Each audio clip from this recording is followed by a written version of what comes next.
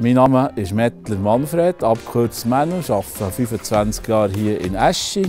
Mein Aufgabenbereich ist Garage, Fahren und Haltestellinfrastruktur. An meinem Job gefällt mir am meisten die Abwechslungskeit.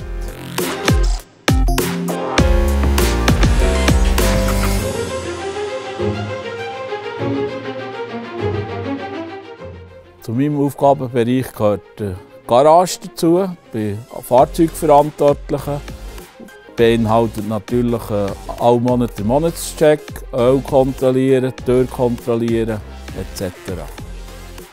Bei Fahrplanwechsel, bei frostigen Temperaturen muss man zum Teil den Bronzer vornehmen, dass man das Zeug lösen kann, dass man es wechseln kann. So, wir haben die Fahrpläne eingehängt. Liebe Fahrgäste, ihr dürft kommen. Wir freuen uns natürlich auf euch. Merci.